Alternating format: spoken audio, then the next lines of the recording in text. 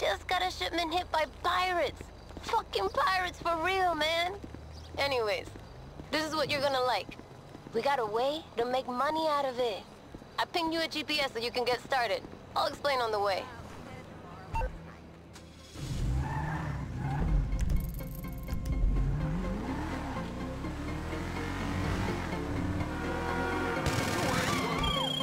So, the oil's all gone. The whole shipment was off the records. IRS don't know shit about it. Now the company needs someone to recover all the documentation and shit before the feds start going through the crime scene. You know, manifests, receipts, the ship's black box, all sitting in the bottom of the ocean. You bringing the stuff? They'll trade you straight for some cargo. No paper, no tax, right? They're gonna set you up with some explosives to bust into the containers. Once you got that, just head up in there and get to it.